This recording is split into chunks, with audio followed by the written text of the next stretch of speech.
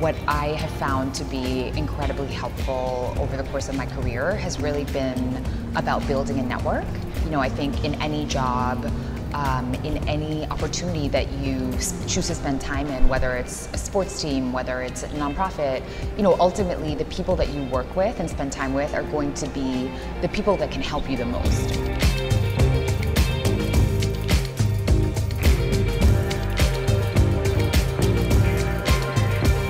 Anyone who's thinking about starting a company should really focus on nourishing their resilience, figuring out what are those seeds um, that you already have inside you that you can lean on and that you can draw from in moments where your conviction will be tested. Make sure you're building a network of women who um, can be mentors to you, who you can lean on uh, when you need that extra nudge, but above all, nourish your resilience because resilience is um, the single most important trait in an entrepreneur.